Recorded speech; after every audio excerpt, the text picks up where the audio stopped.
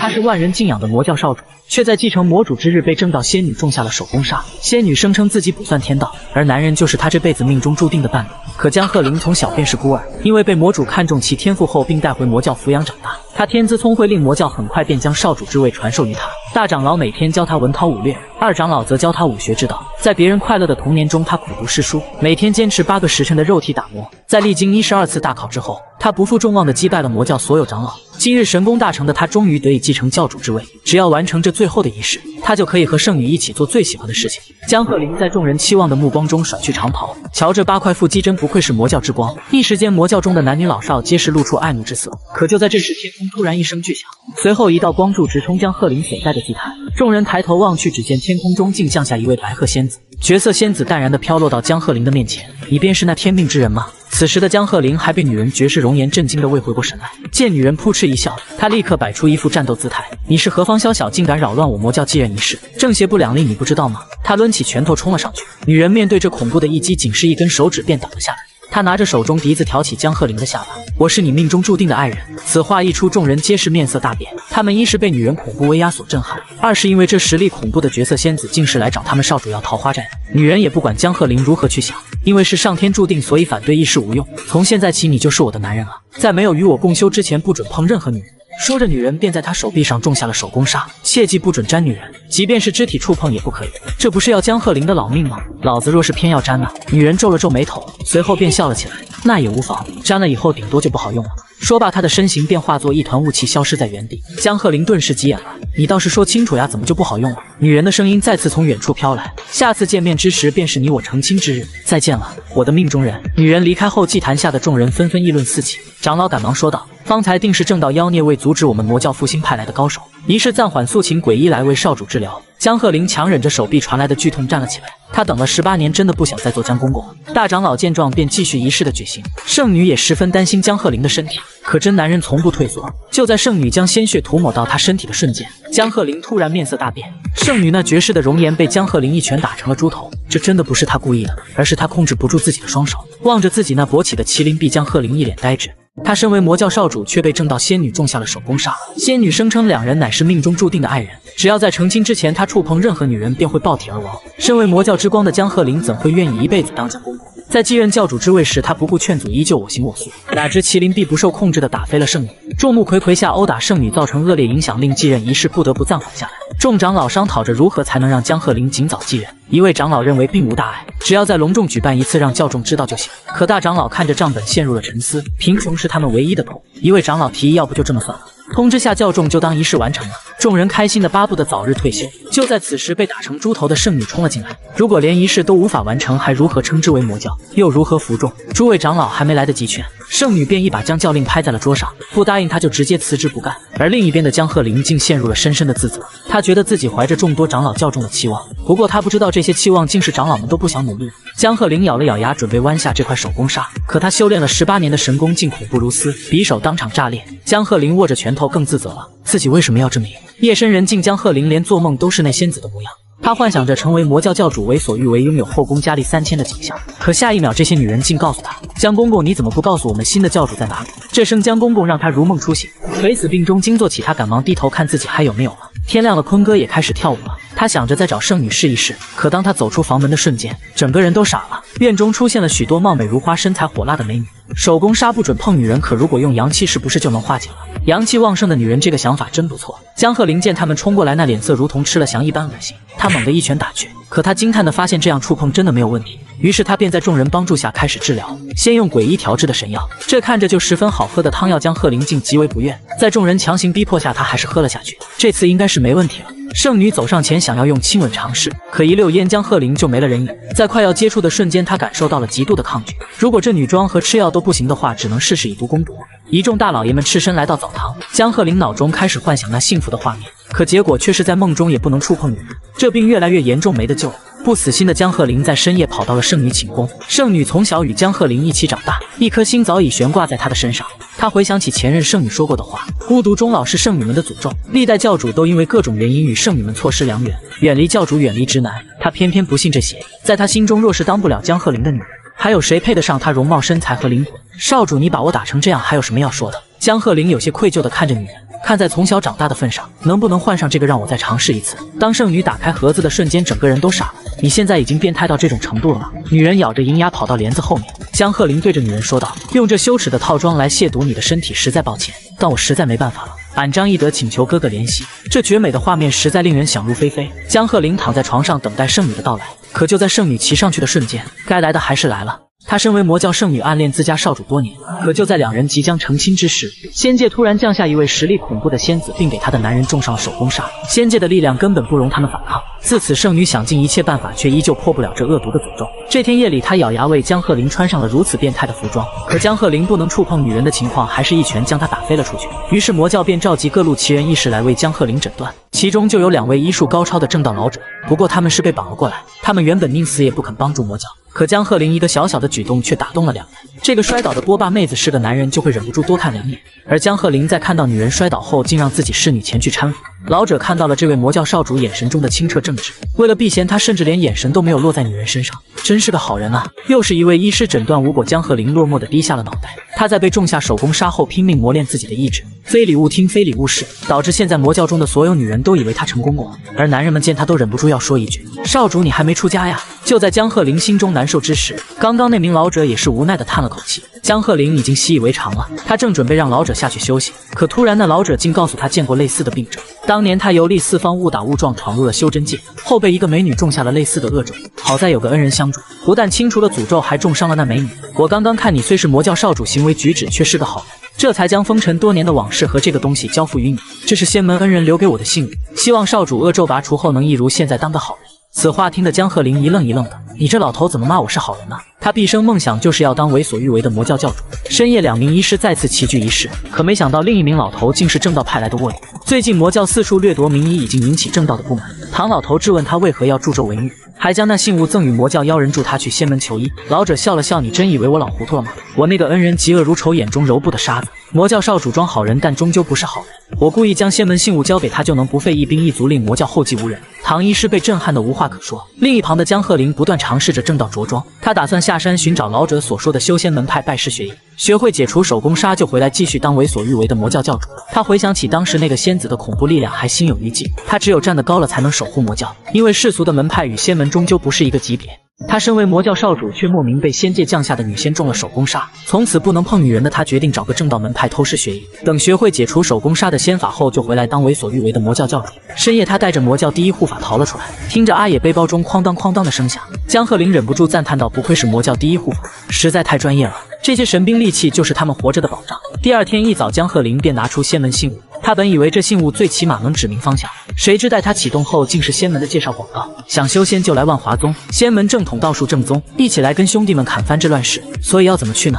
两人黑着脸听完后，依旧没有半点线索。不过看名字，这万华宗必定是个仙门大派。两人决定下山问问。突然，阿野拔刀向树林冲去，江鹤林还以为有什么危险，便追了上去。只见树林中，阿野提着刚两岁半的阿坤起锅烧油，这番行云流水的操作，直接将江鹤林看傻了。片刻过后，一只香喷喷的烤鲲便出现在他的面前。不过这还不够，在经过一番处理后，鲲鲲的味道更香了。从始至终，江鹤林一言不发的傻在原地。少主，我家哥哥做好了，可别流口水啊！真不愧是魔教第一护法，出门想饿死都难。就在两人尽情享受美味之时，忽然一名满身是伤的女子窜了出来，她拿起刀就架到了脖子上。好在阿爷反应够快，他抢过女人手里的菜刀，并嘱咐她不要做傻事，不然你一定会后悔的。女人听了这话，还没来得及感动，下一秒阿野说道：“还好干净，我的刀是吃饭用的，别污染了它。”江鹤林看着女人，再次劝道：“小姑娘想自杀很简单。”随后他一口气给女人说了十几种自杀手段，一个比一个死得快。女人听后忍不住吓哭。而作为正道之人，最基本的就是帮别人排忧解难。江鹤林为自己的行为点赞。女人小声问道：“你们是好人吗？”“那必须是。”在得到确认后，女人便向他们说起了自己的悲惨遭遇。半个月前，魔教妖人害死了他的家人，还对他行了苟且之事。时至今日，他好不容易逃出来，便碰到了两人。这换别人肯定相信，不过江鹤林乃是魔教少主，这段时间魔教所有人都为了他忙前忙后，根本没有多余的人派出去作恶。况且他们魔教有的人连土匪都打不过，兵器什么都是生锈的，拿什么侵占一个村子？女人见两人不信，便再次说道：“她逃出来之时，村子所有的姑娘都被抓了起来。那些姑娘说，只要有人将她们救出来，就以身相许。男人就是这样，一听有漂亮姑娘就会上钩。两人商量过后，认为只要打败这妖人，便能坐实他们是正道的身份。这个魔教妖人就交给我们吧。”望着远去的二人。女人突然露出了邪恶的神色。就在这时，一名青衣女子也来到此处，她乃是明光宗单身女仙苏冉。为了行侠仗义、扬善除恶，这是她第一次下山历练。女人见到有人来了，赶忙装出一副凄惨的神色。她绘声绘色地将故事重复讲给了苏冉。涉世不深的苏冉直接就被感动了，她没有犹豫，立刻让女人指出那妖人的所在。放心吧，我一定会把他们都救出来的。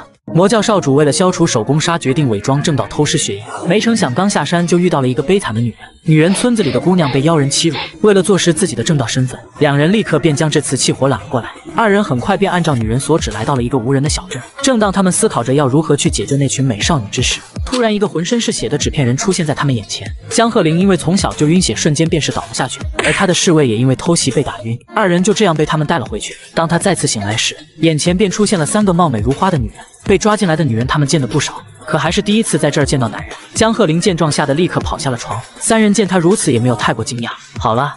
是时候该做自己的事情了，女孩们。待江鹤林回过神来，立刻便告诉他们自己此番前来便是要救他们出去的。可女人们却丝毫没将他的话放在眼中，甚至全都已经做好了自己的打算。一位准备了大量的麻绳做标记来固定线路，一位准备了好几套便携式武器和胭脂用来防身，还有一位为了保险起见，更是把自己身上多余的布料全部扯去。待他们将逃跑的工具全部准备完毕，立刻便开始分配工作任务。几个女人商量得如火如荼，只有江鹤林站在一旁，一句话也插不上。可就在此时，一道脚步声很快便吸引了众人的注意。纸片人依旧按照往常那样来挑选服侍主人的家人。江鹤龄丝毫没有犹豫，立刻转身告诉他们：“各位让我去吧。虽然我很佩服各位的勇气与智慧，但既然在一条船上，那就让我这个只会打架的人出一份力吧。”闻言，三个女人立刻感动得一塌糊涂。江鹤龄还没来得及说话，三个女人二话不说便一起朝他身上扑了上去。见状，他整个人吓得浑身颤抖，感觉到自己整个人都快要窒息，而那三个女人却依旧将他紧紧包围。可奇怪的是，他的手臂这次却毫无反应。很快，他便跟着纸片人前往主人的寝殿。走廊里到处都充满着他做的标记，一路上他都在思考，可却依旧没想明白这次为何没有影响。第一次爆发是被圣女抚摸后产生了奇怪的想法，第二次是圣女坐在他身上，身体突然发热，产生了奇怪的想法。看来这个恶咒也并不是一碰女人就会发作，那到底是什么原因呢？就在此时，他突然感觉到墙外有一道身影，可一转头却又消失不见。难道是我多心了吗？此时明光宗女仙苏冉正颤颤巍巍地扒在墙头之上，好险，差点就被他发现了。与此同时。江鹤林也被带到了主人的寝殿，而这主人身着绿衣，却涂着红色的指甲，胸口上还画有一个黑色爱心，就连头上还顶着一朵太阳花，妥妥的一个猥琐男啊！二人在互相对视的瞬间，心中不免的互生出一股嫌弃之意。他当即对着纸片人大喝：“混账东西！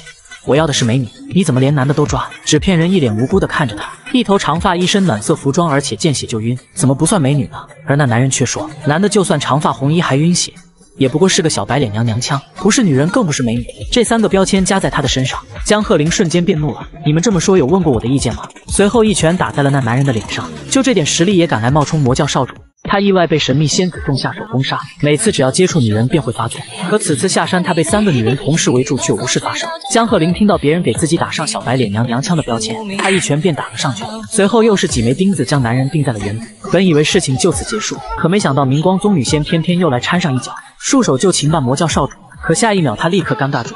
魔教少主有点老了。闻言，这一真一假皆是有些尴尬。苏冉立刻跳了下来，不好意思，我第一次闯江湖，才知道原来一把年纪也能叫少主。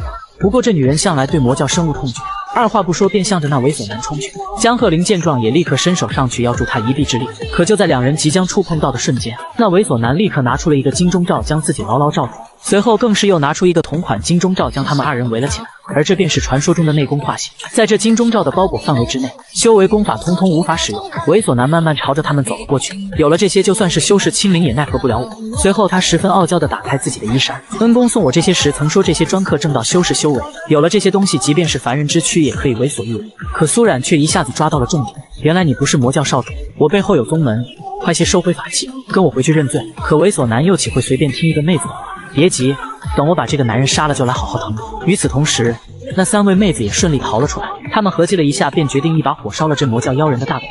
片刻过后，纸片人着急忙慌地跑来告诉他着火了。可纸人怕火也怕水，只能围着它的主人急得团团转。就在这时，江鹤林慢慢向着苏冉靠近，他悄咪咪地说道：“你快勾引我一下。”苏冉闻言便立刻躲在一旁。这都什么时候了，你还在想这些？可江鹤林却一脸正色：“你不懂，我在救我们，我可做出了巨大牺牲。”突然，苏冉感觉到一阵疼痛。原来是刚刚从房檐跳下来的时候扭了一下，好像是伤到了脚，可就是这么一坨，这让单身十八年的江鹤林第一次看到美少女光着的小脚。虽然他明明什么都没想，但却什么都想到。他瞬间满脸通红，感受着筋骨的爆裂，他的肌肉瞬间胀满了整个胳膊，紧接着一拳猛地轰出，那金钟罩颈瞬间便被冲破。猥琐男被他打到墙壁中，抠都抠不出来。直至此刻，他才明白，原来触发条件最重要的就是要遵守，不动邪念，要自爱。猥琐男见状，立刻祭出各种神兵利器，可他还没来得及把话说完，江鹤林一拳便又冲了上来，然后二话不说抓住这男人又进行了打得猥琐男一直哭着求饶：“你一个正道少侠，出手怎么比我还狠？”苏冉从未见过如此邪法，他当即叫停了下来，言说要将这些法器的使用方法先问问，如果不说，再继续打。可突然，江鹤林便感觉到一股劳累过度的空虚，可他又不想被别人看出他不行，于是便找了个借口想要先行离去。可就在此时，一把长剑突然架到了他的脖颈之上。或许我该叫你魔教少主，对吗？身为魔教少主的他救了正道女仙，可女人从小痛恨魔教，非但不领情，反而想要杀了他。或许我该叫你魔教少主，对吗？苏然已经十分确认眼前男人便是魔教教主。见状，江鹤林立刻闪身躲开。你为何要污蔑我？况且我还打了那妖人。可那苏冉却不以为然。第一，这妖人伪装完美，可你却能一眼看出；第二，你刚刚使用的力量也是正道流派从未出现过的。江鹤林冷汗直流，但此刻的他却只能伪装下去。这些我都可以解释。一直以来，我都想去魔教做卧底，当然能一眼看出魔教中人的穿衣打扮。未等他说完，苏冉便拿出一个口袋，在里面寻找着什么。不必说了。我有画像，一比对便知。闻言，江鹤林直接愣在了原地。尼玛，早拿出来呀！还害得我装那么久。很快，苏冉便将他的资料拿了出来。不过那上面已经许久没有更新，照片上只有一张婴孩的照片。好在很快便有新情报的更新。苏冉手忙脚乱的立刻将其打开，可那图片上出现的却是一张别人的照片，上面还附带着一些解读。魔教少主由于荒淫过度，乐极生悲，现身幻怪，并无法接触女性，正四处搜寻名医带回教内囚禁治疗。江鹤林内心一阵无语，谁荒淫了？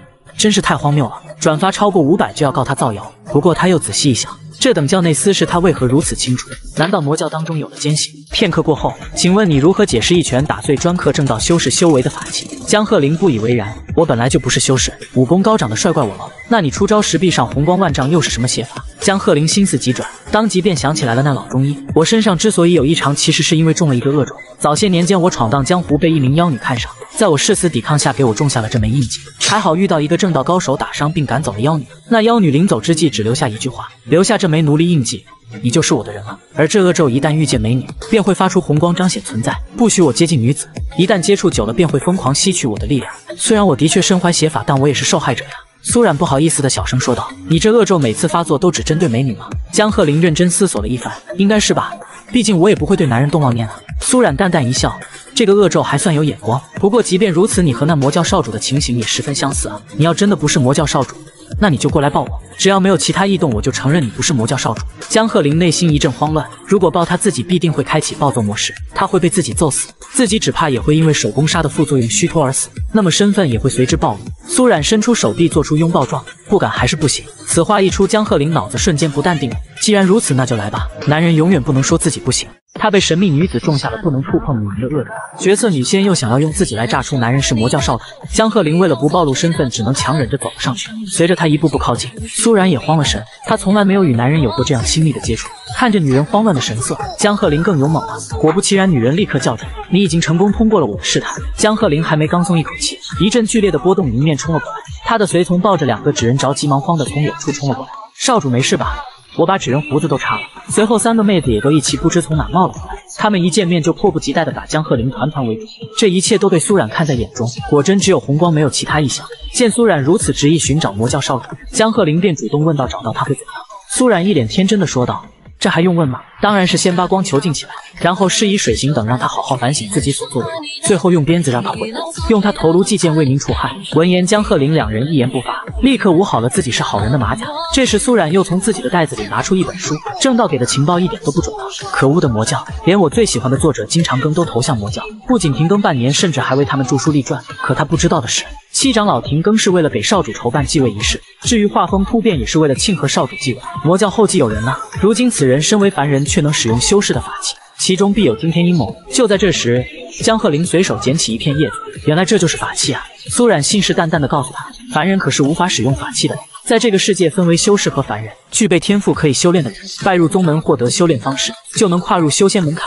而修士都是从凡人里选出来的。仙门与人间达成了协议，修士不得随意欺凌凡人。修士的资源如有必要，必须向凡人购买，不得强抢。而法器的催动需要以修士的修为为宜。江鹤龄猛地一惊，莫非那老中医送我的木牌是法器？难怪自己无法使用。拜师仙门的计划还没出行就要夭折了吗？眼前这仙子虽然就是一名修士，可如果这物品是与他宗门敌对之物，那岂不是又会有所怀疑？正当他纠结之时，一旁的随从似乎是看透了什么，立刻举起他的右手。少主，您手里的那块入门木牌也是法器吗？此话一出，立刻引起了苏冉的注意。这不是法器，只是一块引路牌，只不过上面多附加了一道神识。不过奇怪的是，刚才这个锁已经解开了。江鹤林拿过一看，万华宗的信息已然出现在了眼前。果然是神仙手段。事到如今，他也只能先把这个妖人带回宗门了。魔教少主为了拜入正道，消除手工煞，机缘巧合下来到了万华宗。恰逢此时正是一年一度的招生之际，万华宗宗主万灵虚故意派人广发引路牌。且还故意强调一定要将其送给好人，那道封锁的神石便是检测，只有真正做过好事的人才能解开，看到真正的地图。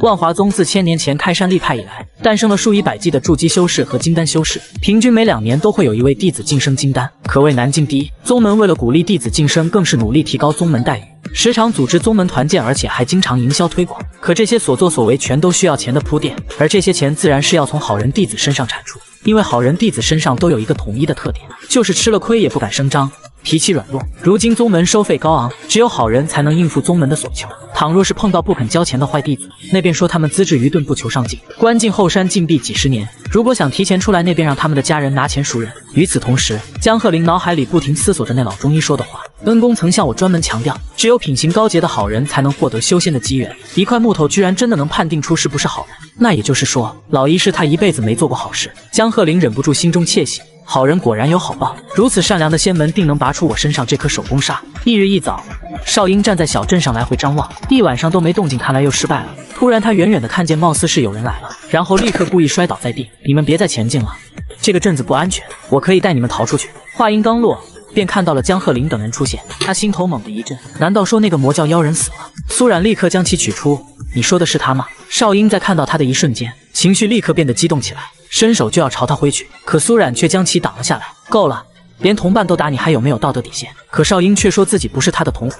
闻言，江鹤林立马问道：“你既不是他的同伙，为何又要帮着他骗人？”少英当即大声反驳：“我不骗你们。”被他强迫的就会是我。半月前，这妖人来到长生镇，打跑了镇长，霸占了宅院。起初他只是索财，后来又向众人索要美少女，要拿来练功。我父母为了活命，将我送给了他，而我为了活下去，只能帮他骗更多的美女。不过我只有有限的善心，那些真正柔弱的女孩子，我都放过她们了。这几位姐姐我观察过，她们行动敏捷，不像普通女子。此话一出，那三位妹子也不再藏着掖着了。她们此番确实是故意前来惩恶除奸的，只是没想到她手中有法器。这才被迷阵禁锢。可妹妹，你年纪尚小，却谎话连篇，是不是也该受点惩罚了？三人齐刷刷地盯着少英，一下子可把江鹤林看傻了。难怪五长老从不允许她早恋，女人还真是深不可测呀。片刻过后。苏冉将那纸人调整好了参数，纸人则会按照江鹤龄的吩咐将少英送到师门。三位妹子也都各自拿了物证去往不同的官府领赏。苏冉也是时候带着猥琐男回去了，而江鹤龄则拿着引路牌继续前往万华宗。魔教少主只想低调的来正道偷师学艺，可带有主角光环的他，不管走到哪都有人盯着。猥琐男失败的消息很快便传到了那幕后黑手的耳中。据说江鹤龄的功法十分特别，而那法器对他根本无效。更让人想不到，一个为所欲为的魔教少主竟对女人极度排斥。男人怎么可能不近女色？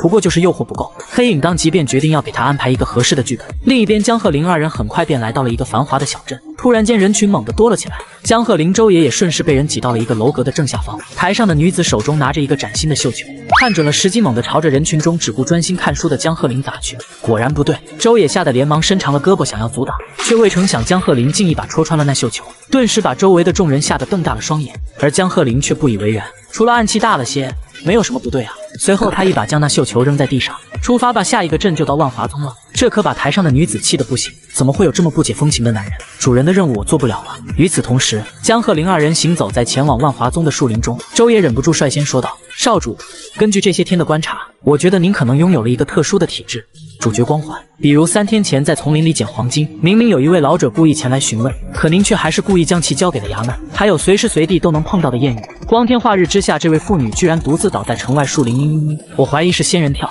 就这样把人家唯一的女匪给送进了衙门，最后还随便都能遇到一群江洋大盗。最后还能将他们全部痛揍一番，简直就跟画本里的主角一模一样啊！好在历经数日，他们终于是成功到达了万华城。城内热闹非凡，到处充满了各色各样的小贩。当然，比起小贩，更让他们在意的便是那万华宗的报名处。两人十分谦逊有礼的微笑示意：“请问这里是万华宗的招新点吗？我带着信物来报名了。”两位假扮的招生人员瞬间眸子一闪，然后让他将手贴上去测试根骨。当手放上去的瞬间，那测试金球便立刻转动了起来。难道这就是主角光环的力量吗？可很快，结果便摆在了眼前，战斗力只有区区五分。很遗憾，你不符合我们的招生标准。一个月后还有机会。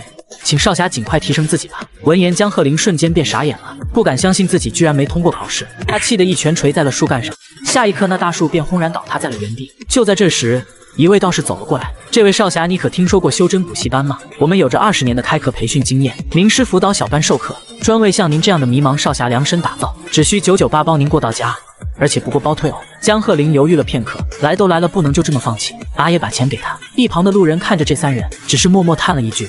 又上钩了两个。他是万人敬仰的魔教少主，却在继承魔主之日被正道仙女种下了手工杀。仙女声称自己不算天道，而男人就是她这辈子命中注定的伴侣。可江鹤龄从小便是孤儿，因为被魔主看中其天赋后，并带回魔教抚养长大。他天资聪慧，令魔教很快便将少主之位传授于他。大长老每天教他文韬武略，二长老则教他武学之道。在别人快乐的童年中，他苦读诗书，每天坚持八个时辰的肉体打磨。在历经一十二次大考之后，他不负众望的击败了魔教所有长老。今日神功大成的他，终于得以继承教主之位。只要完成这最后的仪式，他就可以和圣女一起做最喜欢的事情。江鹤林在众人期望的目光中甩去长袍，瞧这八块腹肌，真不愧是魔教之光。一时间，魔教中的男女老少皆是露出爱慕之色。可就在这时，天空突然一声巨响，随后一道光柱直冲江鹤林所在的祭坛。众人抬头望去，只见天空中竟降下一位白鹤仙子。绝色仙子淡然地飘落到江鹤林的面前：“你便是那天命之人吗？”此时的江鹤林还被女人绝世容颜震惊的未回过神来，见女人扑哧一笑，他立刻摆出一副战斗姿态：“你是何方宵小，竟敢扰乱我魔教继任仪式？正邪不两立，你不知道吗？”他抡起拳头冲了上去，女人面对这恐怖的一击，仅是一根手指便倒了下来。他拿着手中笛子挑起江鹤林的下巴：“我是你命中注定的爱人。”此话一出，众人皆是面色大变。他们一是被女人恐怖威压所震撼，二是因为这实力恐怖的绝色仙子竟是来找他们少主要桃花债的。女人也不管江鹤林如何去想，因为是上天注定，所以反对一事无用。从现在起，你就是我的男人了，在没有与我共修之前，不准碰任何女人。说着，女人便在他手臂上种下了手工杀，切记不准沾女人，即便是肢体触碰也不可以。这不是要江鹤龄的老命吗？老子若是偏要沾呢？女人皱了皱眉头，随后便笑了起来。那也无妨，沾了以后顶多就不好用了。说罢，他的身形便化作一团雾气，消失在原地。江鹤龄顿时急眼了：“你倒是说清楚呀，怎么就不好用了？”女人的声音再次从远处飘来：“下次见面之时，便是你我成亲之日。再见了，我的命中人。”女人离开后，祭坛下的众人纷纷议论四起。长老赶忙说道。方才定是正道妖孽为阻止我们魔教复兴派来的高手，一是暂缓速请鬼医来为少主治疗。江鹤龄强忍着手臂传来的剧痛站了起来，他等了十八年，真的不想再做江公公。大长老见状便继续仪式的举行，圣女也十分担心江鹤龄的身体，可真男人从不退缩。就在圣女将鲜血涂抹到他身体的瞬间，江鹤龄突然面色大变，圣女那绝世的容颜被江鹤龄一拳打成了猪头。这真的不是他故意的，而是他控制不住自己的双手，望着自己那勃起的麒麟臂，江鹤龄一脸呆滞。他身为魔教少主，却被正道仙女种下了手工砂。仙女声称两人乃是命中注定的爱人，只要在成亲之前，他触碰任何女人便会爆体而亡。身为魔教之光的江鹤林，怎会愿意一辈子当江公公？在继任教主之位时，他不顾劝阻，依旧我行我素。哪知麒麟臂不受控制的打飞了圣女。众目睽睽下殴打圣女，造成恶劣影响，令继任仪式不得不暂缓下来。众长老商讨着如何才能让江鹤林尽早继任。一位长老认为并无大碍，只要再隆重举办一次，让教众知道就行。可大长老看着账本，陷入了沉思。贫穷是他们唯一的痛。一位长老提议，要不就这么算了。通知下教众，就当仪式完成了。众人开心的巴不得早日退休。就在此时，被打成猪头的圣女冲了进来。如果连仪式都无法完成，还如何称之为魔教？又如何服众？诸位长老还没来得及劝，圣女便一把将教令拍在了桌上，不答应他就直接辞职不干。而另一边的江鹤林竟陷入了深深的自责。他觉得自己怀着众多长老教众的期望，不过他不知道这些期望竟是长老们都不想努力了。江鹤林咬了咬牙，准备弯下这块手工砂，可他修炼了十八年的神功竟恐怖如斯，匕首当场炸裂。江鹤林握着拳头，后更自责了。自己为什么要这么演？夜深人静，江鹤龄连做梦都是那仙子的模样。他幻想着成为魔教教主，为所欲为，拥有后宫佳丽三千的景象。可下一秒，这些女人竟告诉他：“江公公，你怎么不告诉我们新的教主在哪里？”这声“江公公”让他如梦初醒，垂死病中惊坐起，他赶忙低头看自己还有没有了。天亮了，坤哥也开始跳舞了。他想着再找圣女试一试，可当他走出房门的瞬间，整个人都傻了。院中出现了许多貌美如花、身材火辣的美女。手工杀不准碰女人，可如果用阳气，是不是就能化解了？阳气旺盛的女人，这个想法真不错。江鹤林见他们冲过来，那脸色如同吃了翔一般恶心，他猛地一拳打去。可他惊叹地发现，这样触碰真的没有问题。于是他便在众人帮助下开始治疗，先用诡异调制的神药，这看着就十分好喝的汤药，江鹤林竟极为不愿。在众人强行逼迫下，他还是喝了下去。这次应该是没问题了。圣女走上前，想要用亲吻尝试，可一溜烟，江鹤林就没了人影。在快要接触的瞬间，他感受到了极度的抗拒。如果这女装和吃药都不行的话，只能试试以毒攻毒。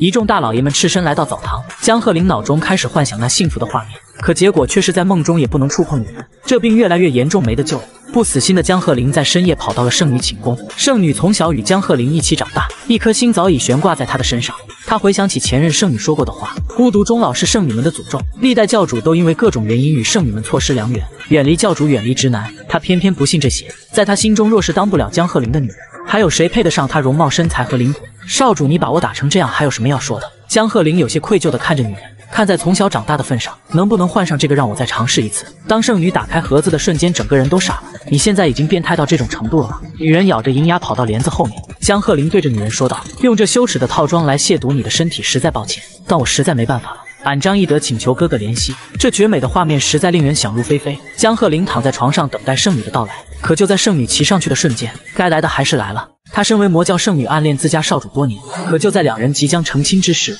仙界突然降下一位实力恐怖的仙子，并给她的男人种上了手工砂。仙界的力量根本不容他们反抗。自此，圣女想尽一切办法，却依旧破不了这恶毒的诅咒。这天夜里，他咬牙为江鹤林穿上了如此变态的服装。可江鹤林不能触碰女人的情况，还是一拳将她打飞了出去。于是魔教便召集各路奇人异士来为江鹤林诊断，其中就有两位医术高超的正道老者。不过他们是被绑了过来，他们原本宁死也不肯帮助魔教。可江鹤林一个小小的举动却打动了两人。这个摔倒的波霸妹子是个男人，就会忍不住多看两眼。而江鹤林在看到女人摔倒后，竟让自己侍女前去搀扶。老者看到了这位魔教少主眼神中的清澈正直，为了避嫌，他甚至连眼神都没有落在女人身上，真是个好人啊！又是一位医师诊断无果，江鹤林落寞的低下了脑袋。他在被种下手工杀后，拼命磨练自己的意志，非礼勿听，非礼勿视，导致现在魔教中的所有女人都以为他成功过。而男人们见他，都忍不住要说一句：“少主，你还没出家呀？”就在江鹤林心中难受之时，刚刚那名老者也是无奈的叹了口气。江鹤林已经习以为常了，他正准备让老者下去休息，可突然那老者竟告诉他见过类似的病症。当年他游历四方，误打误撞闯入了修真界，后被一个美女种下了类似的恶咒。好在有个恩人相助，不但清除了诅咒，还重伤了那美女。我刚刚看你虽是魔教少主，行为举止却是个好人，这才将风尘多年的往事和这个东西交付于你。这是仙门恩人留给我的信物，希望少主恶咒拔除后能一如现在当个好人。此话听得江鹤林一愣一愣的，你这老头怎么骂我是好人呢？他毕生梦想就是要当为所欲为的魔教教主。深夜，两名医师再次齐聚一室，可没想到另一名老头竟是正道派来的卧底。最近魔教四处掠夺名医，已经引起正道的不满。唐老头质问他为何要助纣为虐，还将那信物赠与魔教，邀人助他去仙门求医。老者笑了笑：“你真以为我老糊涂了吗？我那个恩人嫉恶如仇，眼中揉不得沙子。魔教少主装好人，但终究不是好人。我故意将仙门信物交给他，就能不费一兵一卒，令魔教后继无人。”唐医师被震撼的无话可说。另一旁的江鹤龄不断尝试着正道着装，他打算下山寻找老者所说的修仙门派，拜师学艺，学会解除手工杀，就回来继续当为所欲为的魔教教主。他回想起当时那个仙子的恐怖力量，还心有余悸。他只有站得高了，才能守护魔教，因为世俗的门派与仙门终究不是一个级别。他身为魔教少主，却莫名被仙界降下的女仙中了手工砂，从此不能碰女人的他，决定找个正道门派偷师学艺。等学会解除手工砂的仙法后，就回来当为所欲为的魔教教主。深夜，他带着魔教第一护法逃了出来，听着阿野背包中哐当哐当的声响，江鹤林忍不住赞叹道：“不愧是魔教第一护法，实在太专业了。这些神兵利器就是他们活着的保障。”第二天一早，江鹤林便拿出仙门信物。他本以为这信物最起码能指明方向，谁知待他启动后，竟是仙门的介绍广告。想修仙就来万华宗，仙门正统道术正宗，一起来跟兄弟们砍翻这乱世。所以要怎么去呢？两人黑着脸听完后，依旧没有半点线索。不过看名字，这万华宗必定是个仙门大派。两人决定下山问问。突然，阿野拔刀向树林冲去，江鹤林还以为有什么危险，便追了上去。只见树林中，阿野提着刚两岁半的阿坤起锅烧油，这番行云流水的操作，直接将江鹤林看傻了。片刻过后，一只香喷喷的烤鲲便出现在他的面前。不过这还不够，在经过一番处理后，鲲鲲的味道更香了。从始至终，江鹤林一言不发的傻在原地。少主，我家哥哥做好了，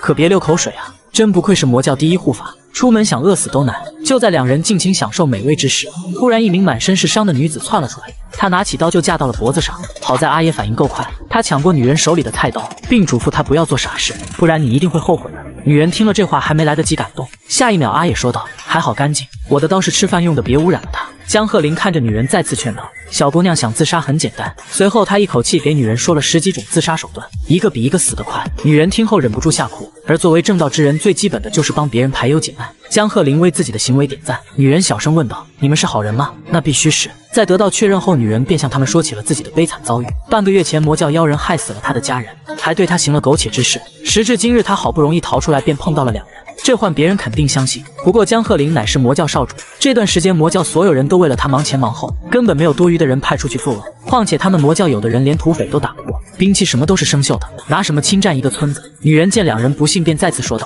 她逃出来之时，村子所有的姑娘都被抓了起来。那些姑娘说，只要有人将她们救出来，就以身相许。男人就是这样，一听有漂亮姑娘就会上钩。两人商量过后，认为只要打败这妖人，便能坐实他们是正道的身份。这个魔教妖人就交给我们吧。”望着远去的二人。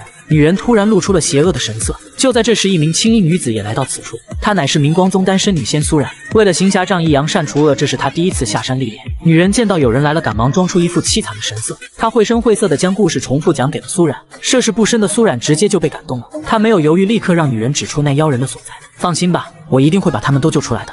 魔教少主为了消除手工杀，决定伪装正道偷师学艺。没成想刚下山就遇到了一个悲惨的女人。女人村子里的姑娘被妖人欺辱，为了坐实自己的正道身份，两人立刻便将这瓷器活揽过来。二人很快便按照女人所指来到了一个无人的小镇。正当他们思考着要如何去解救那群美少女之时，突然一个浑身是血的纸片人出现在他们眼前。江鹤林因为从小就晕血，瞬间便是倒了下去，而他的侍卫也因为偷袭被打晕。二人就这样被他们带了回去。当他再次醒来时，眼前便出现了三个貌美如花的女人。被抓进来的女人，他们见得不少，可还是第一次在这儿见到男人。江鹤林见状，吓得立刻跑下了床。三人见他如此，也没有太过惊讶。好了。是时候该做自己的事情了，女孩们。待江鹤林回过神来，立刻便告诉他们自己此番前来便是要救他们出去的。可女人们却丝毫没将他的话放在眼中，甚至全都已经做好了自己的打算。一位准备了大量的麻绳做标记来固定线路，一位准备了好几套便携式武器和胭脂用来防身，还有一位为了保险起见，更是把自己身上多余的布料全部扯去。待他们将逃跑的工具全部准备完毕，立刻便开始分配工作任务。几个女人商量的如火如荼，只有江鹤林站在一旁，一句话也插不上。可就在此时，一道脚步声很快便吸引了众人的注意。纸片人依旧按照往常那样来挑选服侍主人的家人。江鹤林丝毫没有犹豫，立刻转身告诉他们：“各位让我去吧。虽然我很佩服各位的勇气与智慧，但既然在一条船上，那就让我这个只会打架的人出一份力吧。”闻言，三个女人立刻感动得一塌糊涂。江鹤林还没来得及说话，三个女人二话不说便一起朝他身上扑了上去。见状，他整个人吓得浑身颤抖，感觉到自己整个人都快要窒息。而那三个女人却依旧将他紧紧包围。可奇怪的是，他的手臂这次却毫无反应。很快，他便跟着纸片人前往主人的寝殿。走廊里到处都充满着他做的标记，一路上他都在思考，可却依旧没想明白这次为何没有影响。第一次爆发是被圣女抚摸后产生了奇怪的想法，第二次是圣女坐在他身上，身体突然发热，产生了奇怪的想法。看来这个恶咒也并不是一碰女人就会发作，那到底是什么原因呢？就在此时，他突然感觉到墙外有一道身影，可一转头却又消失不见。难道是我多心了吗？此时明光宗女仙苏冉正颤颤巍巍地扒在墙头之上，好险，差点就被他发现了。与此同时。江鹤林也被带到了主人的寝殿，而这主人身着绿衣，却涂着红色的指甲，胸口上还画有一个黑色爱心，就连头上还顶着一朵太阳花，妥妥的一个猥琐男啊！二人在互相对视的瞬间，心中不免的互生出一股嫌弃之意。他当即对着纸片人大喝：“混账东西！我要的是美女，你怎么连男的都抓？”纸片人一脸无辜的看着他，一头长发，一身暖色服装，而且见血就晕，怎么不算美女呢？而那男人却说：“男的就算长发红衣还晕血。”也不过是个小白脸娘娘腔，不是女人，更不是美女。这三个标签加在她的身上，江鹤龄瞬间变怒了。你们这么说，有问过我的意见吗？随后一拳打在了那男人的脸上。就这点实力也敢来冒充魔教少主？他意外被神秘仙子种下手工杀，每次只要接触女人便会发作。可此次下山，他被三个女人同时围住，却无事发生。江鹤林听到别人给自己打上小白脸娘娘腔的标签，他一拳便打了上去，随后又是几枚钉子将男人钉在了原地。本以为事情就此结束，可没想到明光宗女仙偏偏又来掺上一脚，束手就擒吧魔教少主。可下一秒他立刻尴尬住，魔教少主有点老了。闻言这一真一假皆是有些尴尬。苏冉立刻跳了下来，不好意思，我第一次闯江湖，才知道原来一把年纪也能叫少主了。不过这女人向来对魔教深恶痛绝，二话不说便向着那猥琐男冲去。江鹤林见状也立刻伸手上去要助他一臂之力，可就在两人即将触碰到的瞬间，那猥琐男立刻拿出了一个金钟罩将自己牢牢罩住。随后更是又拿出一个同款金钟罩，将他们二人围了起来。而这便是传说中的内功化形。在这金钟罩的包裹范围之内，修为功法通通无法使用。猥琐男慢慢朝着他们走了过去。有了这些，就算是修士亲临也奈何不了我。随后他十分傲娇地打开自己的衣衫，恩公送我这些时，曾说这些专克正道修士修为。有了这些东西，即便是凡人之躯也可以为所欲为。可苏冉却一下子抓到了重点。原来你不是魔教少主，我背后有宗门。快些收回法器，跟我回去认罪。可猥琐男又岂会随便听一个妹子的话？别急，等我把这个男人杀了，就来好好疼你。与此同时，那三位妹子也顺利逃了出来。他们合计了一下，便决定一把火烧了这魔教妖人的大本。片刻过后，纸片人着急忙慌地跑来告诉他着火，可纸人怕火也怕水。只能围着他的主人急得团团转。就在这时，江鹤龄慢慢向着苏冉靠近，他悄咪咪地说道：“你快勾引我一下。”苏冉闻言便立刻躲在一旁。这都什么时候了，你还在想这些？可江鹤龄却一脸正色：“你不懂，我在救我们，我可做出了巨大牺牲。”突然，苏冉感觉到一阵疼痛，原来是刚刚从房檐跳下来的时候扭了一下，好像是伤到了脚。可就是这么一拖，这让单身十八年的江鹤龄第一次看到美少女光着的小脚。虽然他明明什么都没想，但却什么都想到了。他瞬间满脸通红，感受着筋骨的爆裂。他的肌肉瞬间胀满了整个胳膊，紧接着一拳猛地轰出，那金钟罩紧瞬间便被冲破。猥琐男被他打到墙壁中，抠都抠不出来。直至此刻，他才明白，原来触发条件最重要的就是要遵守，不动邪念，要自爱。猥琐男见状，立刻祭出各种神兵利器，可他还没来得及把话说完，江鹤龄一拳便又冲了上来，然后二话不说抓住这男人又进行了一遍打得猥琐男一直哭着求饶：“你一个正道少侠，出手怎么比我还狠？”苏冉从未见过如此邪法，他当即叫停了下来，言说要将这些法器的使用方法先问问，如果不说再继续打。可突然江鹤林便感觉到一股劳累过度的空虚，可他又不想被别人看出他不行，于是便找了个借口想要先行离去。可就在此时，一把长剑突然架到了他的脖颈之上。或许我该叫你魔教少主，对吗？身为魔教少主的他救了正道女仙，可女人从小痛恨魔教，非但不领情，反而想要杀了他。或许我该叫你魔教少主，对吗？苏然已经十分确认眼前男人便是魔教教主。见状，江鹤林立刻闪身躲开。你为何要污蔑我？况且我还打了那妖人。可那苏冉却不以为然。第一，这妖人伪装完美，可你却能一眼看出；第二，你刚刚使用的力量也是正道流派从未出现过的。江鹤林冷汗直流，但此刻的他却只能伪装下去。这些我都可以解释。一直以来，我都想去魔教做卧底，当然能一眼看出魔教中人的穿衣打扮。未等他说完，苏冉便拿出一个口袋，在里面寻找着什么。不必说了，我有画像，一比对便知。闻言，江鹤林直接愣在了原地。尼玛，早拿出来呀！还害得我装那么久。很快，苏冉便将他的资料拿了出来，不过那上面已经许久没有更新，照片上只有一张婴孩的照片。好在很快便有新情报的更新，苏冉手忙脚乱的立刻将其打开，可那图片上出现的却是一张别人的照片，上面还附带着一些解读。魔教少主由于荒淫过度，乐极生悲，现身幻怪，并无法接触女性，正四处搜寻名医带回教内囚禁治疗。江鹤林内心一阵无语，谁荒淫了？真是太荒谬了！转发超过五百就要告他造谣。不过他又仔细一想。这等教内私事，他为何如此清楚？难道魔教当中有了奸细？片刻过后，请问你如何解释一拳打碎专克正道修士修为的法器？江鹤林不以为然，我本来就不是修士，武功高涨的帅怪我了。那你出招时臂上红光万丈，又是什么邪法？江鹤林心思急转，当即便想起来了那老中医。我身上之所以有异常，其实是因为中了一个恶种。早些年间，我闯荡江湖，被一名妖女看上，在我誓死抵抗下，给我种下了这枚印记。还好遇到一个正道高手打伤并赶走了妖女。那妖女临走之际，只留下一句话：留下这枚奴隶印记，你就是我的人了。而这恶咒一旦遇见美女，便会发出红光，彰显存在，不许我接近女子。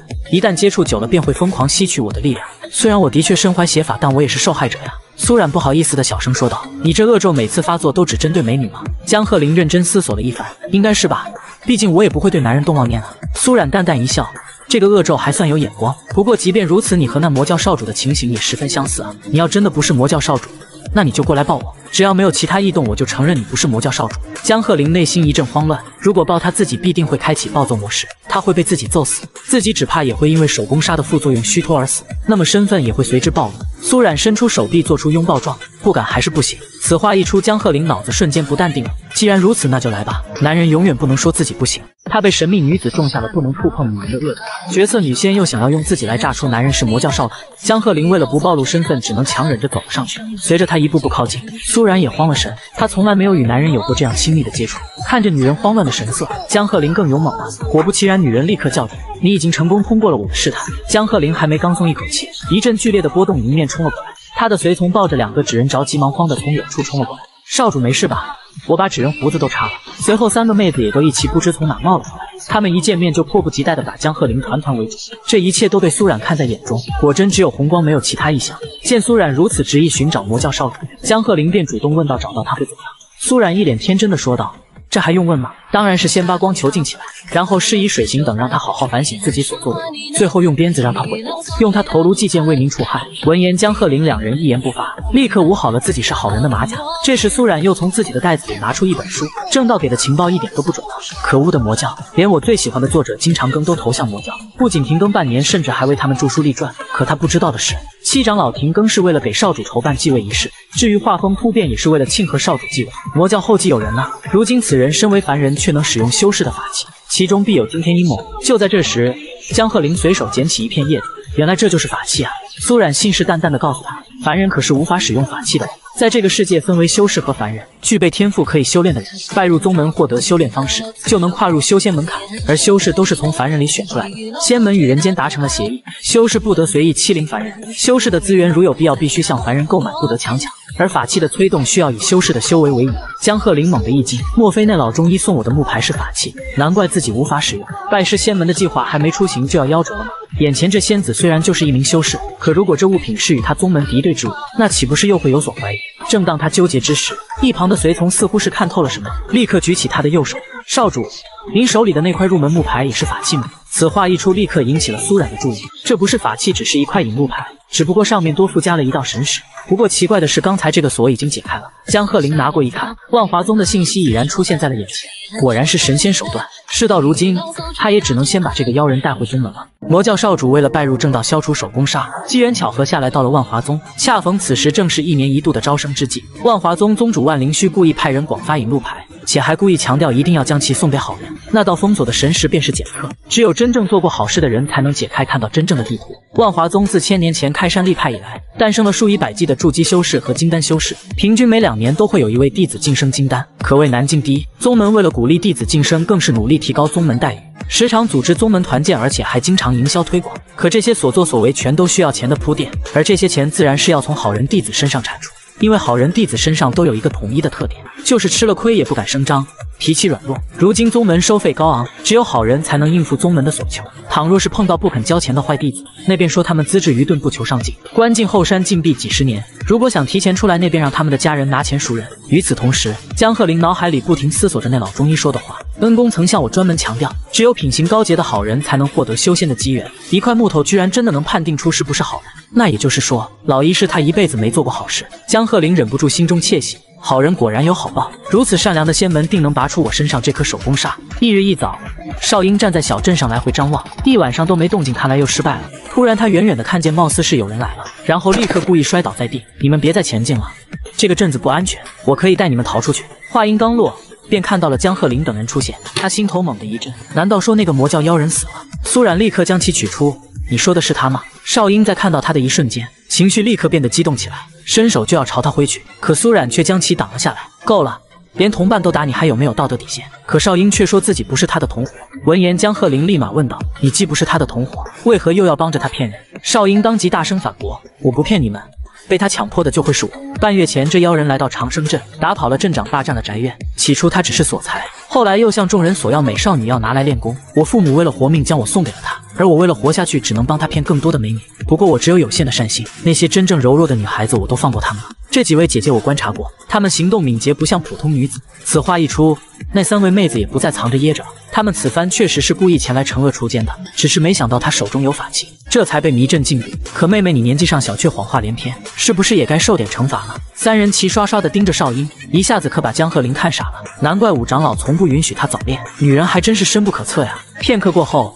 苏冉将那纸人调整好了参数，纸人则会按照江鹤龄的吩咐将少英送到师门。三位妹子也都各自拿了物证去往不同的官府领赏。苏冉也是时候带着猥琐男回去了，而江鹤龄则拿着引路牌继续前往万华宗。魔教少主只想低调的来正道偷师学艺，可带有主角光环的他，不管走到哪都有人盯着。猥琐男失败的消息很快便传到了那幕后黑手的耳中。据说江鹤龄的功法十分特别，而那法器对他根本无效。更让人想不到，一个为所欲为的魔教少主竟对女人极度排斥。男人怎么可能不近女色？不过就是诱惑不够。黑影当即便决定要给他安排一个合适的剧本。另一边，江鹤龄二人很快便来到了一个繁华的小镇。突然间，人群猛地多了起来，江鹤龄、周爷也顺势被人挤到了一个楼阁的正下方。台上的女子手中拿着一个崭新的绣球，看准了时机，猛地朝着人群中只顾专心看书的江鹤龄砸去。果然不对，周也吓得连忙伸长了胳膊想要阻挡，却未成想江鹤龄竟一把戳穿了那绣球，顿时把周围的众人吓得瞪大了双眼，而江鹤龄却不以为然，除了暗器大了些。没有什么不对啊！随后他一把将那绣球扔在地上，出发吧，下一个镇就到万华宗了。这可把台上的女子气得不行，怎么会有这么不解风情的男人？主人的任务我做不了了。与此同时，江鹤龄二人行走在前往万华宗的树林中，周也忍不住率先说道：“少主，根据这些天的观察，我觉得您可能拥有了一个特殊的体质。”主角光环，比如三天前在丛林里捡黄金，明明有一位老者故意前来询问，可您却还是故意将其交给了衙门。还有随时随地都能碰到的艳遇，光天化日之下，这位妇女居然独自倒在城外树林阴，我怀疑是仙人跳，就这样把人家唯一的女匪给送进了衙门。最后还随便都能遇到一群江洋大盗，最后还能将他们全部痛揍一番，简直就跟画本里的主角一模一样啊！好在历经数日，他们终于是成功到达了万华城。城内热闹非凡，到处充满了各色各样的小贩。当然，比起小贩，更让他们在意的便是那万华宗的报名处。两人十分谦逊有礼的微笑示意：“请问这里是万华宗的招新点吗？我带着信物来报名了。”两位假扮的招生人员瞬间眸子一闪，然后让他将手贴上去测试根骨。当手放上去的瞬间，那测试金球便立刻转动了起来。难道这就是主角光环的力量吗？可很快，结果便摆在了眼前，战斗力只有区区五分。很遗憾，你不符合我们的招生标准。一个月后还有机会，请少侠尽快提升自己吧。闻言，江鹤林瞬间便傻眼了，不敢相信自己居然没通过考试。他气得一拳捶在了树干上，下一刻，那大树便轰然倒塌在了原地。就在这时，一位道士走了过来，这位少侠，你可听说过修真补习班吗？我们有着二十年的开课培训经验，名师辅导小班授课，专为像您这样的迷茫少侠量身打造，只需九九八包您过到家，而且不过包退哦。江鹤林犹豫了片刻，来都来了，不能就这么放弃，阿爷把钱给他。一旁的路人看着这三人，只是默默叹了一句，又上钩了两个。他是天赋超群的魔教少主，来正道偷师学艺，却被测得个根骨不佳，可为了消除那手工杀，他只好委曲求全。江鹤林听了那道士的忽悠，俩人很快便跟着他来到了那所谓的修真补习班。迎面而来的便是一堆同样上当受骗的韭菜们。看着眼前的这些菜鸟，江鹤林心中不免有些无语。一个月前，他还是一拳能打十个猛男的魔教少主，一个月后，他居然同那群人一样，都是战斗力只有五的渣渣。难道说江湖男儿的战斗力其实和那个地方息息相关？仔细想想，那些知名的侠客似乎都颇受异性欢迎。虽说说有异性青睐的未必功夫是最好的，但如果一个人始终没有异性青睐，一定不能算得上是强者。很快，这群人便被带到了万华城的一处近郊。此次培训一共分为粗浅两班，一班以学习书册为主，由他每日指导仙法；另一班则以断体为主，每日跟随周老师训练运动。江鹤林很快便被分配到了修仙一组。那道士二话不说，先拿出了一套试卷作为摸底考试。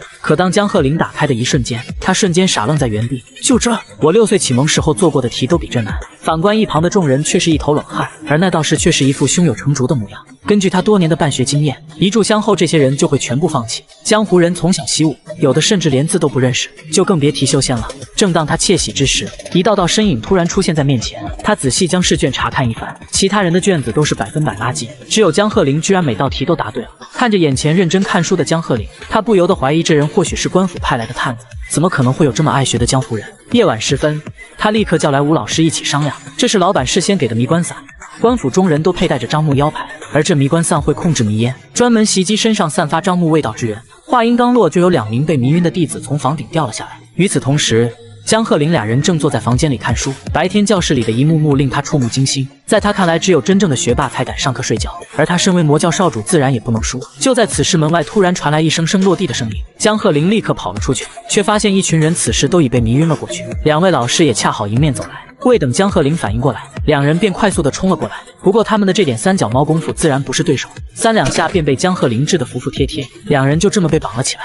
好在还有几位官府雇来的临时工没有被迷晕，于是便将他们带回去伏法了。只是江鹤龄半年的饭钱就这么不翼而飞了。不过万华宗对好人会破格录取，江鹤龄因为协助官府办案，所以理所应当的获得了张好人卡。总归是帮助他顺利的拜入了万华宗。他们很快便来到了万华宗招生点，招生管理员立刻便给他发了张表让其填写，里面详细的询问了家族资产以及年收入这样的问题。江鹤龄仔细一想，魔教坐拥连环山脉，他身为少主，应该整个鱼塘都是自己的吧？阿瑶的胭脂坊属于圣女一系的财产，归他支配，应该不能计入年收入。但是自己也不能堕了魔教的威风吧？于是他便在上面写下了年收入不定，房产若干不计，还在新修中这样的话。看得那招生管理员喜笑颜开，最后偷偷的在他档案上记上了两个字：多金。他明明实力超群，却被正道门派操了个根骨不假。因为他是魔教少主，在这里敢怒不敢言，连续被骗令江鹤龄心态炸裂。好在经历一番挫折后，总算是来到了万华宗。填写完表格上的基础内容后，一众弟子便被于老师带到了一处风景优美的树林。当江鹤林再次睁眼，便是换了一个身份。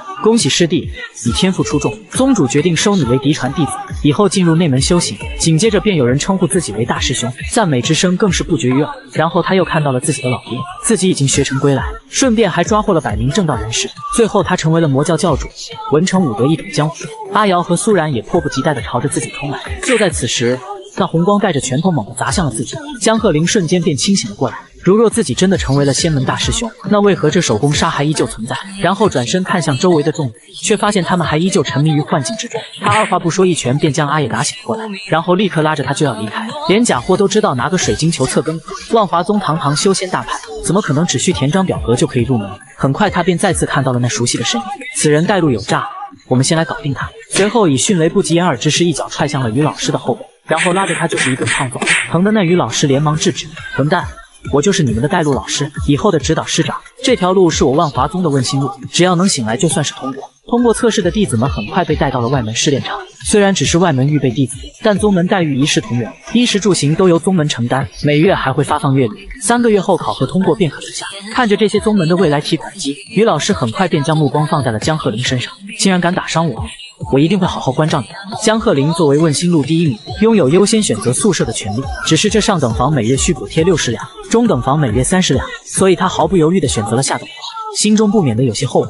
早知道就不那么爱学习了，至少还能退点学费。周野见状，立刻拿出一本书，只要少主努力通过考核，成为正式弟子就好了。江鹤林还没来得及接过，下一刻灯就被熄灭了，且规定了任何人不得在熄灯后点灯，违者会被扣除学分。江鹤林躺在床上，心中不由得有些惆怅，为什么没人告诉我修仙还要花钱啊？与此同时，被江鹤林送进衙门的唯一女匪也成功混了进来。想起自己前几天受到的种种侮辱，他下定决心定要加倍讨回来。他手中拿着一大笔银钱，没有直男可以拒绝我的勾引。翌日一早，于老师跟一众外门弟子讲起了转正的两个要求：一是笔试，二是看个人资质，无论此前学过什么武功，最好都忘掉。身上若有什么邪物法器，也要自觉上交。万华宗绝不姑息任何邪魔歪道。闻言，江鹤龄心中一惊，恶咒该不会被查出来吧？一旁的女匪也是一惊，自己的易容该不会被看穿吧？简单介绍完后，于老师便率先打坐起来，给弟子们演示了第一课引气入体。见状，所有弟子也是争相模仿起来。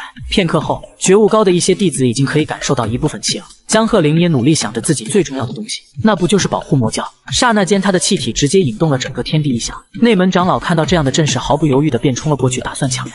只见那磅礴的气体形成一柄大大的保护伞，因为他从小锻炼体魄，所以非常的硬。将灵气引入体内，需要和肉体一番搏杀。可一番激烈的战斗后，却发现肉体生疑，刚才出现的灵气也只不过是幻影罢了。你见过修仙还要花钱的吗？男人身为高高在上的魔教少主，刚下山就被骗光了身上所有的钱。本以为进了宗门就可以丰衣足食，却没成想不仅住上等房、中等房要贴钱，就连吃饭的肉菜也要单独掏钱。这些外门预备弟子仅仅来了几日，宗门便已是赚得盆满钵满。于老师此时正在盘算着今日的消费清单，不自觉的便将目光看向了江鹤岭。怎么又是他？这小子居然一文钱都没花。他嘿嘿一笑，没人能逃得过我的无情抓钱手，我一定要让他花钱。翌日一早。众人便齐聚在了外门学堂，于老师随手拿出了四十五本书册，这是你们这月要读的书单，下个月还会有新的书单，三个月后考试内容将在这些书里选择。江鹤林望着那厚厚的资料，看来时间有点紧迫呢。一旁的于老师谄媚一笑，这下我不信你还不交钱。天色刚暗。房间里的蜡烛便被统一熄灭，而宗门又明确规定不得使用明火照明。江鹤龄躺在床上，不禁有些惆怅。每日学习时间根本不够啊！可就在此时，门外竟亮起了些许微弱的灯光。他立刻走出去查看，此时的于老师正提着一盏灵石灯在门口贩卖。这灵石灯无火无烟，十两一盏，可用一月，可谓是夜间读书的最佳伴侣。过来一盏吗？江鹤龄想了想那微薄的阅历以及自己那分文不剩的钱袋里，他还是立马回绝了。女老师默默收回自己已经递出去的灯罩，那真是太遗憾了。翌日一早，江鹤龄便忍不住羞红着脸对着周野说道：“其实我有一个绝妙的法子可以看书，就是缺少工具。”紧接着一阵窃窃私语后，周野便毫不犹豫地拿出了一本小书：“少主，您说的可是这个？”见状，江鹤龄一把将其抢了过来：“看不出来呀，阿爷。”原来你喜欢这样的，周野一脸傲娇地说道。为了少主能够重振雄风，这可是他精心挑选出来的。一路上带着，只盼着能派上点用场。待天色渐暗，一道身影便来到了他的屋前。经过他这几天的观察，江鹤林非常吝啬，但却十分热爱学习。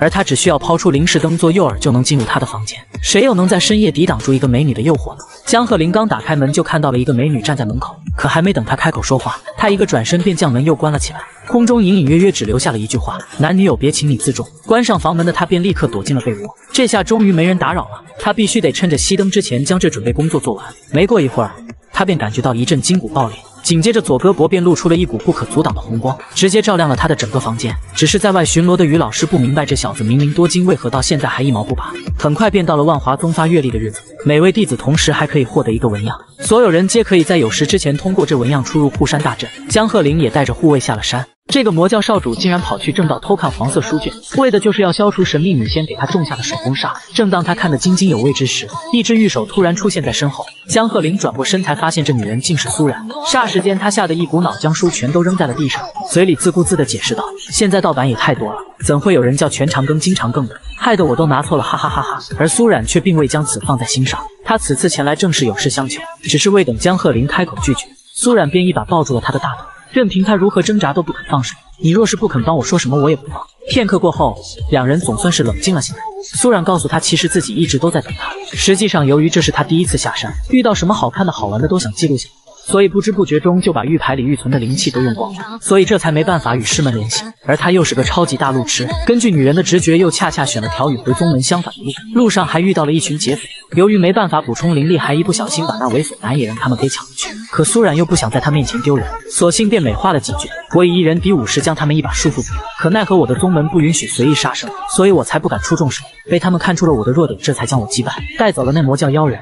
不过目前我需要先联系上宗门，但万华宗里有一个我极厌恶之人。”不能被他知道行踪。江鹤林心思急转，极讨厌之人，难不成是他的仇人？既然你还想灭了魔教，那就别怪我先下手为强了。当即便答应了要带他进去。与此同时，那女匪也接到了同样的消息。尊主还特意下令要让他智取，摆在他面前的便是那枚人香，只要吸入一点，便会对面前的异性产生不可动摇的感情，一个月才能解开。蹲守那个女修的时候，他们都靠这玩意过日子，只需点燃一点，方圆三里内的野鸡野鸭都开始产蛋，甚至吃不完的都被他做成了咸鸭蛋。与此同时，江鹤龄等人趁守阵者去小姐的功夫，成功打开了护山大阵。苏冉一进来便感觉到了这稀薄的灵气，与内门简直差了不止一星半点。若照这样下去，每日引导大概十日便可重启玉牌。江鹤林看她是女生的份上，二话不说便将床铺让给了她，而那女匪则悄咪咪地躲在窗外，随后打开了那枚人香，因为好奇索性便轻轻闻了一下，然后又顺着窗户的缝隙将其吹了进去。仅片刻，她便立刻脸红心跳，好像有了什么奇怪的感觉。此时的江鹤林仍旧在看之前的那本小书，由于苏冉的出现，导致他没能够买到新书。这些素材已经不够刺激了，可没过一会儿，他便感受到一股燥热，紧接着房门便被推开，江鹤林一个机灵坐了起来，看着眼前那已经被催情的女匪慢慢走来，难不成这插画成精了？魔教少主为了寻找解除手工杀的办法，竟拉着仙子一同看黄皮书卷。正当江鹤林看得入迷之时，他突然感觉到浑身燥热无比。只见一名陌生女子竟毫无避讳地闯了进来。江鹤林越看这女人越是怪异。当他看到手臂上的红光渐渐消失，江鹤林这才明白，原来她并不是女子。在那媚人香的作用下，女匪二话不说就向着苏冉扑了过去。二人先是一惊，然后很快便是将她绑了起来。华师妹，请你解释一下吧，为何要深夜带着迷药闯入我房间？可华丹心思一转，为了不影响尊主计划。这种时候最好的办法，当然就是把锅甩给魔教。他歪头淡淡一笑，其实我曾是魔教中人。此话一出，当即把二人全都吓了一跳。他继续说道：“多年来魔教的残暴令我难以忍受，所以我便决定弃暗投明。可即便我来到万华宗，魔教长老仍旧不肯放过我，趁下山之际给我媚人香，强迫我在门内发展新的教徒。”江鹤龄忍不住有点心虚，要是被人发现是魔教徒，会很惨吗？苏冉十分肯定地告诉他，魔教的独门功法使他们没办法引气入体，每年宗门淘汰的预备弟子都会送去测试，若是发现会交给戒律堂严加惩罚，这辈子应该都别想出来了。江鹤林这才明白为何自己当日引动天地异象，却化为一缕泡影。看来靠拜师修行来解决手工杀怕是不成了。但在自己逃离之前，这几个对魔教不利之人一定得除掉。正当他思考之际，华丹哭哭啼啼地说道：“我选江师兄是因为相信他为人正直，但没想到这个药如此厉害，连我也无法抵挡，所以我只好扑向仙子。这媚药对修士无效，仙子与我才不会一起失态。”闻言，苏冉当即怒火冲天，魔教竟然想以如此下作的方式扩张，我就知道那妖人是魔教少主。江鹤林也是一脸的无奈，每天都要背那么多的郭明声能不差吗？不过令他奇怪的是，明明自己不是修士，可为什么这枚药对他也不起作用呢？清晨，华丹一早便打好了饭，要与江鹤林套套近乎。江师兄，为何不见那位师妹出来呢？江鹤林告诉他，在这万华宗有一个仇人，所以他才不敢露面，且宗门费用高昂，师妹不忍拖累我，才自愿留在房中修炼。闻言，华丹立刻拿出来三百两黄金赠与他，就当做是昨晚的惊吓费好了。江鹤林见状，继续说道：“其实最好的方法是将仇人解决，不如你扮作他，我们一同将那人引出来。”很快，华丹便化作了苏冉的模样。江鹤林带着他朝着内门弟子的方向走去，门一开，里面便出来了大量女修。两人的出现很快便引起了一女修的注意。你这创意不错，利用别的男人让大师兄吃醋。江鹤林一把叫住了他，请问你口中所说的大师兄究竟是谁？那女修顿时一惊，你竟然不知道大师兄沈修白？他可是宗门三十岁以下元婴修士榜第五名，与宗门其他两人并称万华宗之光。不过他却是个重度虐恋爱好者，平生最喜欢追求师妹。做小伏低重金砸钱，等师妹对他有好感之后，再宣称自己最爱的乃明光宗苏冉仙子，其他人都是替身。而这样的循环每年都有一次。江鹤龄看着这大师兄刷包手册，不禁感叹：这修真界的怪人真是一个比一个。原以为苏冉讨厌的是他的仇人，没想到竟是他的追求者。恰巧今日大师兄刚刚分手，应该要来寻找新师妹。江鹤龄闻言顿时一惊，不能让他看到假的苏冉，于是拉着华丹就要离开这里。魔教少主与正道仙女深夜约会小树林，两人在夜里发生了不可描述的事情。自从那日过后，仙子仿佛就对江鹤龄产生了一股莫名的好感。得知那沈修白是苏冉的追求者后，江鹤龄二话不说就要带着华丹离开。恰巧一脸相思相的大师兄走了出来，一眼就注意到了他们二人。更令他感到诧异的是，这容貌这身材，这不正是自己心心念念的苏冉仙子吗？他本想伸手叫住二人，可又一想自己得先回去焚香沐浴才行。可跟踪淑女实在是有些下流，既然如此，那就只能跟踪你了。夜晚时分，沈修白跟着季好来到了房间。以前苏仙子的行踪总是难以追寻，万万没想到她竟偷偷来了万华宗。正当他自我脑补之时，身形已然默默穿过了石墙，进到了房内。可让他更为震惊的是，此时屋内的那道身影正在沐浴。正当他左右矛盾，该不该看之时，一条美腿已然迈了出来。沈修白不由得被冲昏了头脑，趁着隐身咒还有时效，他定要把小冉的身体深深刻画进自己的脑海。下一刻。一名膀大腰圆的壮汉直愣愣地出现在眼前，沈修白当场就傻眼了，怎么会是于长老？看着眼前自己做过的标记，这才知道原来自己上当了。就在几个时辰前，周野按照吩咐拿了套新衣服递给了江鹤人。然后他又特意去找于老师买了盏临时灯，趁这个空闲时间，周野溜进屋子将衣物藏好，鞋子交换。正当沈修白想要逃跑之时，一道亮若白咒术直接打破了他的隐身咒。周野见状，立刻在窗外大声喊道：“快来人啊！有贼人私闯万华宫，偷了好多金子！”沈修白还没来得及解释，一个大脚便已经踢在了他的脸上。于长老二话不说，便将这贼人一顿胖揍，引得周围一众弟子前来围观。苏冉拿着望远镜乐个不停，这下沈修白可栽了。不用半天，他偷看男人洗澡的事就会传遍整个万华宗。丢了这么大的脸，估计他半年都不会再出门了。苏冉淡淡一笑，你为我做了这么多事，我怎么会不明白你的心意？我没有看错，你果然是世间少见的正直少侠，是真正正派的好男子。以后你叫我阿然。我叫你江大哥可以吗？自从从小树林回来后，江鹤林就总感觉不对劲，总觉得苏然好像时时刻刻都在盯着自己，自己还是早日提桶跑路吧。没过几日，宗门便开放了一个内外门弟子交流的机会。闻言，江鹤龄心生喜悦，说不定这正是一个可以引气入体的好机会。众人在师兄林坤生的带领下，很快便进入到内门。正当他们满怀期待的等待着去往各个山峰之时，众人便被一齐带到了垃圾场旁。而这次之所以把他们带到这个地方，正是那沈修白出的主意。对于丢脸一事，他一直心存芥蒂。区区一个外门弟子，竟敢戏弄自己，这次内外门一起比试，定要在擂台上光明正大的玩死你！魔教少主半夜偷偷与正道仙女私会，二人故意戏耍，使得大师兄在众人面前出丑。沈修白遭受奇耻大辱后，自然不肯轻易罢休，于是便向宗门提议要将内外门弟子放在一起比试，还故意派出林坤生作为带队队长，将他们的修炼场所安排在了一处垃圾堆旁边，甚至故意挑衅他们。垃圾当然只配和垃圾待在一起，众人当然不服，可还没等他们做出什么反应。林坤生便是立刻给大家来了个下马威，一脚下去便吓得众人都不敢再多说什么。夜晚时分，于长老按令来到了宗主房间，宗主率先问道：“预备弟子中可有什么不错的苗子吗？记得把名字记下，过几年魔族来犯，可以丢他们填命去做炮灰。万一谁家长老的孩子天赋不够，还能挖了灵根卖掉。”于长老哈哈一笑，自然是标好了。宗门无偿养着这些外门弟子，包吃包住，还发月钱，不就是为了有朝一日他们能回报宗门吗？就在此时。一位名为朱淼的男人突然走了进来，两人先是寒暄了几句，紧接着宗主便说道：“朱先生之前想买一些万华宗淘汰的不合格弟子，前往万魔前线的矿山挖矿，出价很是不错，我答应了。”朱淼淡淡一笑。宗主慎言，万华宗乃名门正宗，怎会出卖不合格弟子？那些人分明就是魔教卧底，必须予以严惩。我们只不过是助他们改邪归正罢了。闻言，宗主也是附和着一笑：“是是是，朱先生也是发自善心，愿意接受魔教徒，给他们一个从头再来的机会。”两人相视一笑。万华宗不愿诛杀魔教分子，给他们二次生命。真乃修真界道德楷模。眼见比试在即，为了方便他挑选弟子，宗主当即邀请朱先生一同观战。没过多久，弟子们便接到了一则通知：为激励新生学习士气，本届外门入门试炼将与内门一同进行，届时将设置擂台，分为初试和复试。万华宗有一条规定，父母有一方为修士者，可直接入内门；凡人测试有灵根者，进入外门。由于内外门弟子收徒标准不同，为保证公平起见。此次比试不可使用法器，夺魁者可直接入学获得宗主接见，并满足他一个要求。闻言，一众弟子皆是高兴的手舞足蹈，就连江鹤林也忍不住兴奋。直接入学和宗主见面，还能满足一个要求，这不就是为我量身打造的吗？于是他便想着要赶紧和人组队开始对练。可这些人看他到现在还没引气入体，皆是不屑与他比试。数日过后，他也只和阿野打过，连对手的水准都不清楚，这怎么行？他思来想去，便决定拿出自己的绝活，让他们与自己好好的比试一场。闻言，周也立刻来了兴致。难道说少主要下战书？优雅，当真是优雅。可当他看到那书信上的内容时，顿时就傻眼了。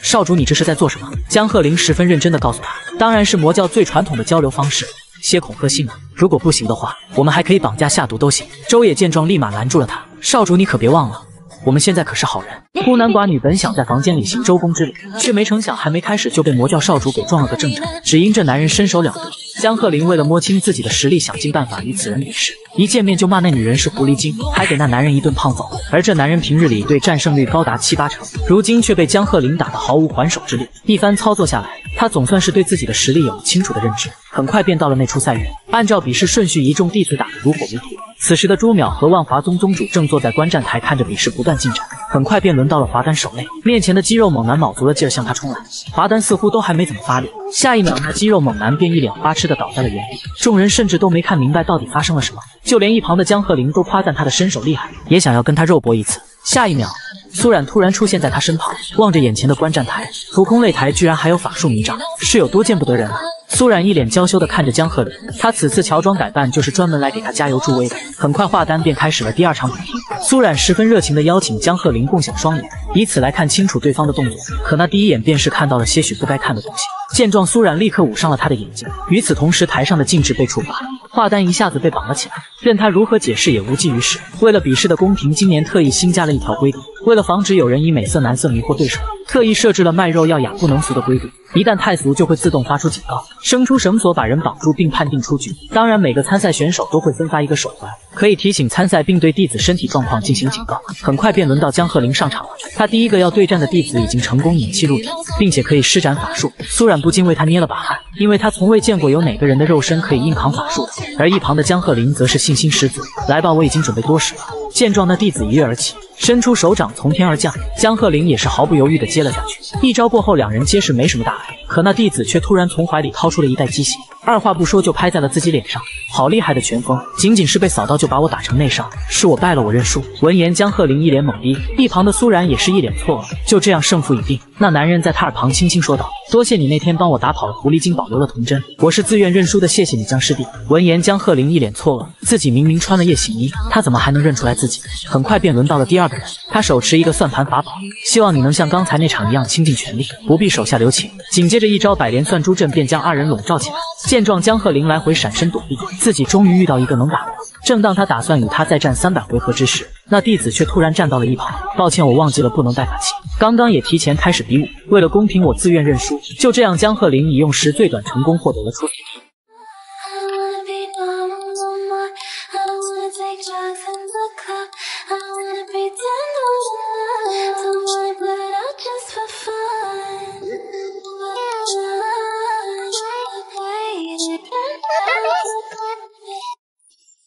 这个